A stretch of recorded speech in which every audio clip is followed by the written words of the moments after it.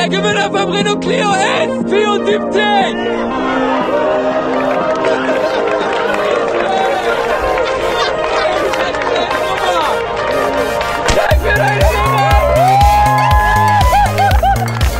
Vielen Dank für euren Besuch. Ich hoffe, ihr hattet alle Spaß.